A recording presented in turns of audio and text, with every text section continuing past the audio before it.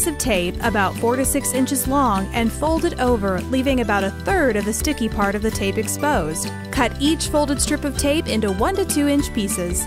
Take the prepared tape strips and apply them to the exterior of the lantern, starting from the bottom.